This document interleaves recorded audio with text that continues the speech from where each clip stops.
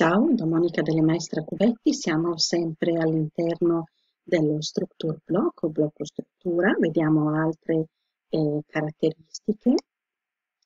Se scendo con la barra laterale, sono, sto visualizzando la parte eh, a sinistra del blocco struttura, posso lasciare includi, cosa vuol dire? Che insieme all'oggetto che voglio salvare o esportare mi eh, includerà tutte le entità, quindi i mob e gli animali vari. Se ci sarà eh, una mucca, eh, esporterò anche la mucchina, altrimenti posso disattivare le entità.